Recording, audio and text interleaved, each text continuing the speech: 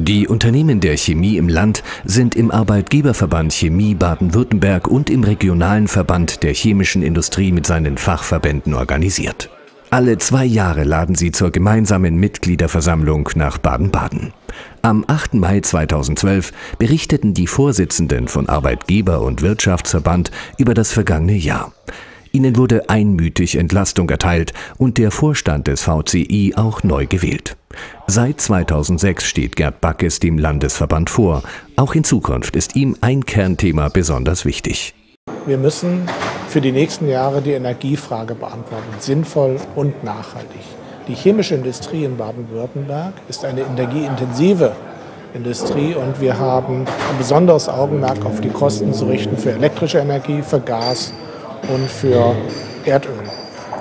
Wir sehen mit großer Sorge, dass die Landesregierung mit dem neuen Klimaschutzgesetz eine einseitige Belastung der Betriebe des Landes Baden-Württemberg vorhat, die wir so nicht verkraften können.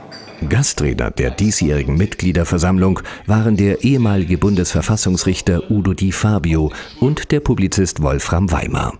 Sie sprachen vor den interessierten Unternehmern und Managern über Perspektiven zur Lösung der Euro-Schuldenkrise. Hauptthema für die im Arbeitgeberverband organisierten Unternehmen war die laufende Tarifrunde 2012. Markus Scheib, Vorsitzender des Verbandes, sprach über die Forderungen der Arbeitgeber. Nun, wir brauchen keine 6% äh, Entgelterhöhung, sondern wir brauchen Realismus.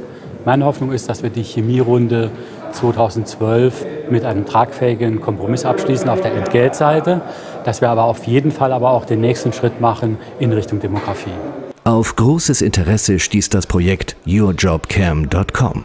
Die Jobplattform für Einsteigerstellen in der Chemie wurde mit einem Infostand vorgestellt. Sie startet in Kürze.